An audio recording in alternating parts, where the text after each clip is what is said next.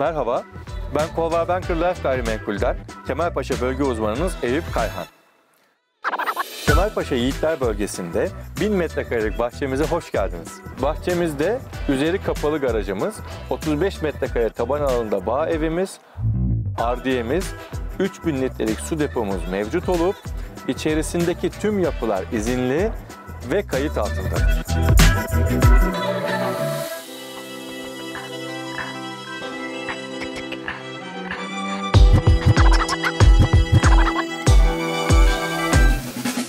Elektrik, su ve damla sulama sistemi mevcuttur. İçerisinde kiraz, erik, şeftali, ceviz, limon, zeytin gibi çok çeşitli 37 adet meyve ağacımız bulunmaktadır.